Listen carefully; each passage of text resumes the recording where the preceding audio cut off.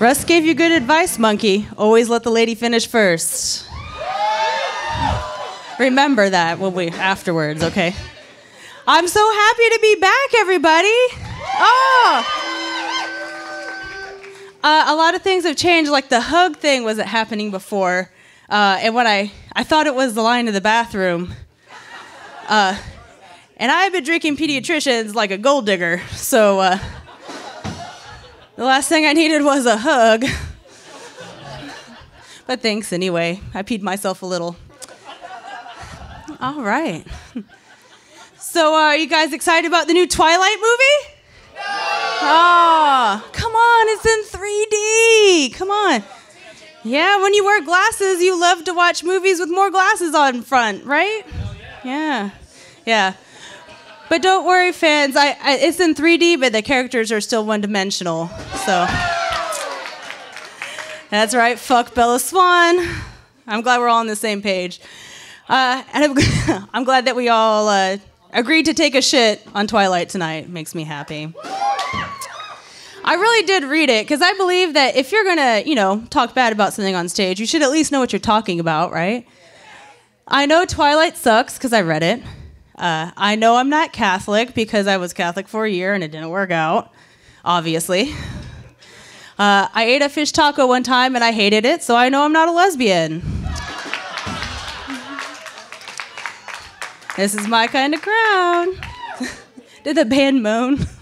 the band's against me. Do you have a trombone sound? That would be awesome. Oh, yes. I'm going to pay you to follow me around. That's amazing. How big is that keyboard?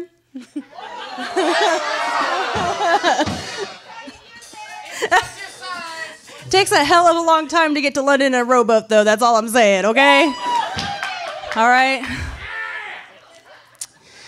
I've been, uh, I hate my job, so I've been going on a lot of interviews. Yeah, it's not fun. Like you sit there and you're uncomfortable and you're hot and you're itchy because my Starfleet uniform is. And, uh, They say dress for the job you want, and I want to be captain. All right?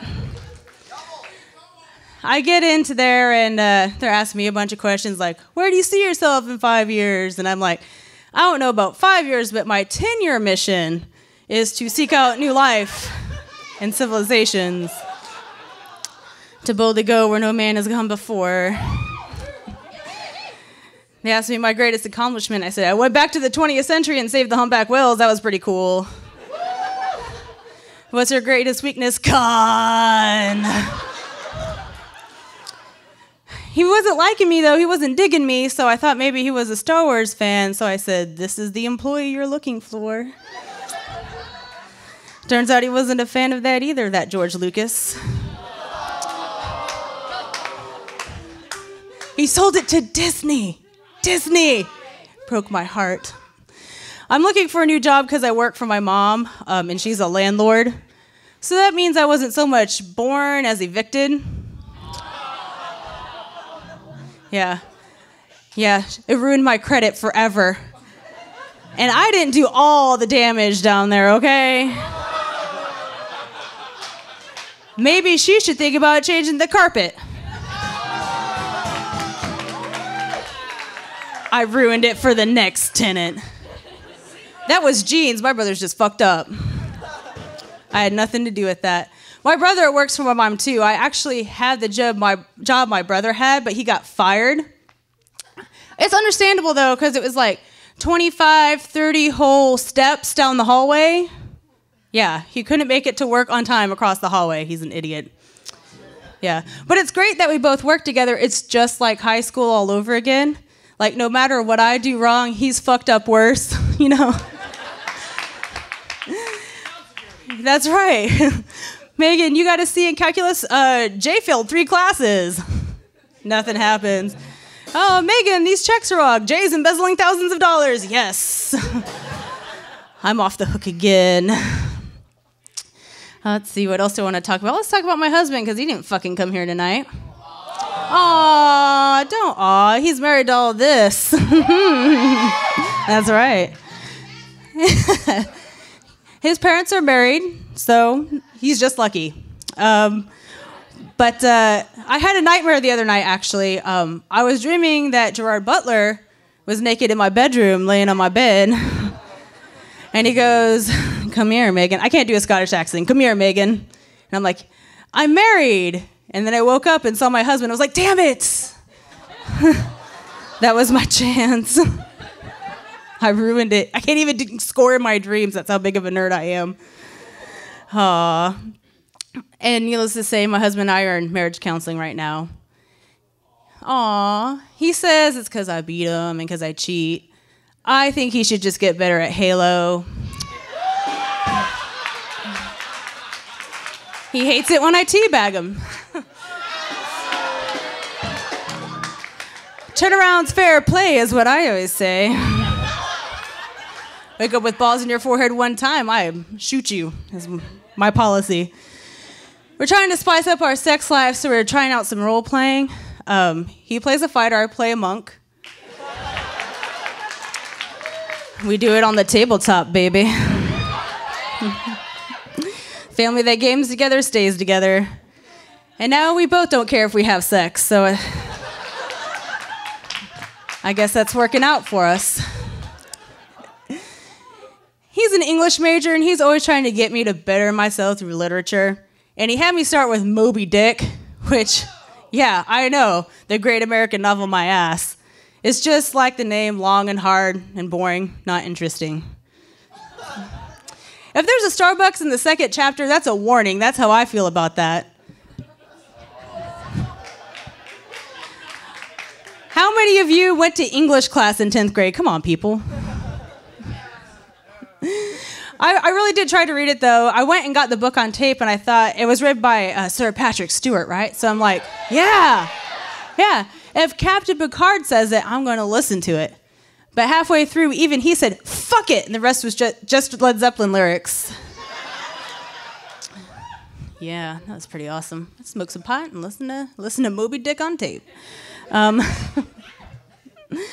uh, I have a lot of guy friends. I hang out with a lot of guys. And I love it because they do things that girls would never do. Like they play this game where they punch each other in the nuts, and yeah, and they call it cock knock. Because there's nothing funnier than blood in your urine stream, apparently. Like girls would never do that, right, ma'am? Girls would never play cock knock, right? No. Girls play clam slam. And I suck at that game because I'm a pussy. yes! All right, guys, this is my last one. I'll bring Russ back up to the stage. Um, are you? Russ left. It's my show now, bitches. No.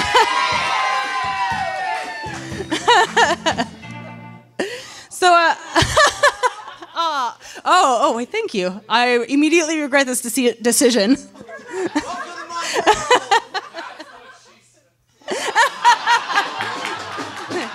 Is that for the monkey sex afterwards?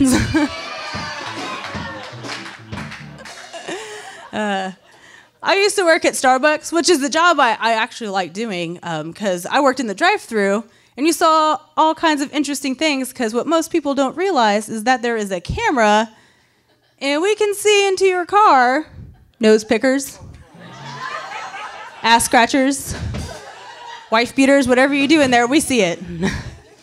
so one morning, it's 5:30 in the morning. We just opened, like we haven't had a customer yet, and I hear the little bing that says, tells me someone's there, and I turn to look in the monitor, and I'm like, "How can I help you?" And there is a guy, a chick giving a guy a blowjob.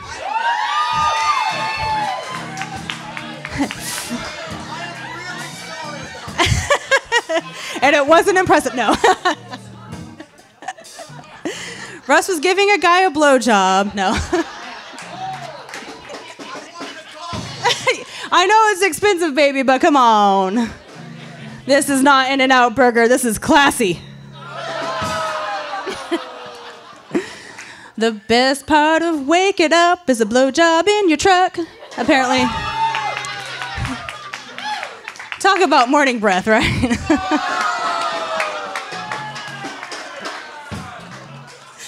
Uh, so they pull up to the window. I guess he finishes.